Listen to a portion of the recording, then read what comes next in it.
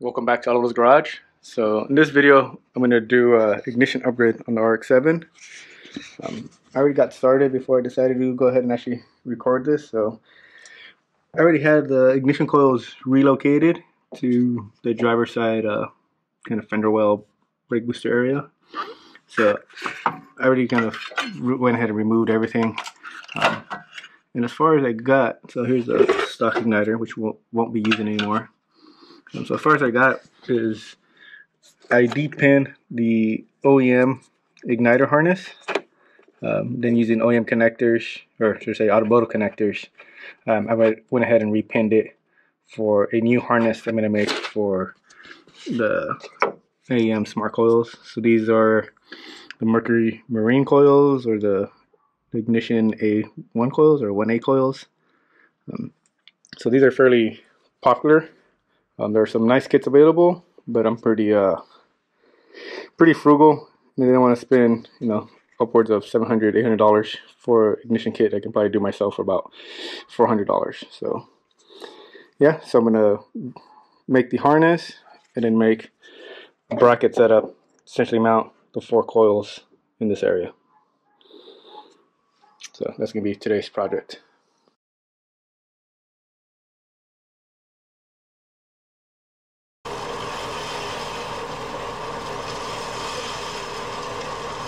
This is gonna be my starting point for my bracket. So this mounts to the car and I have this pop up to mount the other coils. So I'm gonna go ahead and start tacking this in place and working my way to make the bracket.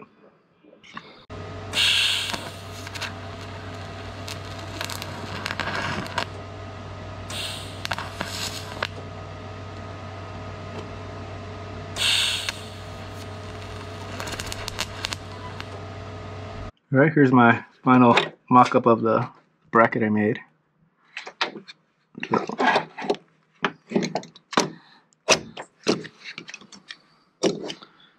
so here's the tacked up bracket.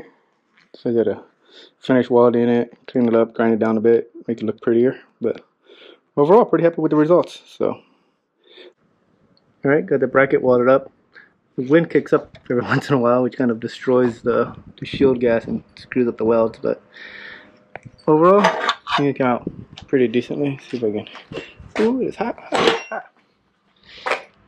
Fail. But I'm just about done with the wiring harness. So it's a bit of a mess right now, but after I tape it up, it should look pretty nice. But it's essentially what I had configured for uh, the igniters that are integrated within the coil. So got a little automotive plug that I'm going to connect to the car with and then the rest are just power powered by a relay and a fuse that'll connect to the battery for uh, overcurrent protection. Alright, let's uh, tidy this up and then plug it in. Alright, so here's the bracket after paint's dried up. Overall, it looks pretty good. So let's get, uh, get it mounted to the car, plug it into the wiring, and uh, we'll see how it goes. I got the coils mounted with a bracket. Overall, pretty happy with the results. Now you got to mount it to the car and uh, wire it up. So here are the coils with the wiring harness. So, yeah, overall came out pretty good. It actually came out a little tighter than I anticipated. I cut a little too short, but overall I was able to fit it. I got the two leadings on the edge since they fire twice as more than the trailings and the two trailings in the middle. So I think that'll help a little bit with heat management as there's higher duty cycle on the leading coils, but should be good. So now let's uh, finish wiring it up. Right, so everything is mounted and wired up. Went ahead and remade uh, some spark plug cables since the, the terminal on the coil side is a little bit different. Um, one thing I did notice was one of the original cables I had was bad. So that actually may have been the, issue while I was having some uh, ignition breakup on the higher end, a higher boost. So I guess it's a good upgrade. Um, but I probably should have checked that first. Plugs were good, but yep, didn't check uh, one of the, I didn't check into the cables, so one of the cables were bad. But overall, I think I'm pretty impressed. I think I'm gonna get ready to fire it up. So all the wiring's done. Here's the relay for the igniter separate fuse directly to the battery. And you got the other terminal for the negative. So I just gotta wire in the negative, power it on, um, reconfigure the power FC for the new coils, and fire it up. So went ahead and configured the power FC for the new ignition coils. So different dwell settings. So everything should be ready to fire up if I wired everything correctly. It should kick on. So this is my first time attempting to start it with the new ignition coils and new wiring. So if I did a good job, it should fire right up. If I didn't, then we'll have a troubleshooting section of this video. So let's go.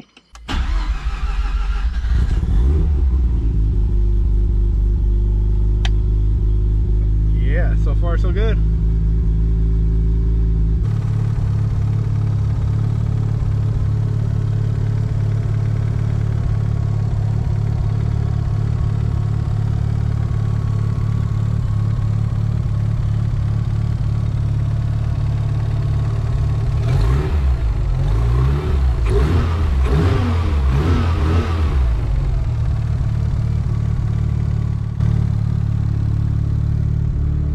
Thanks for watching.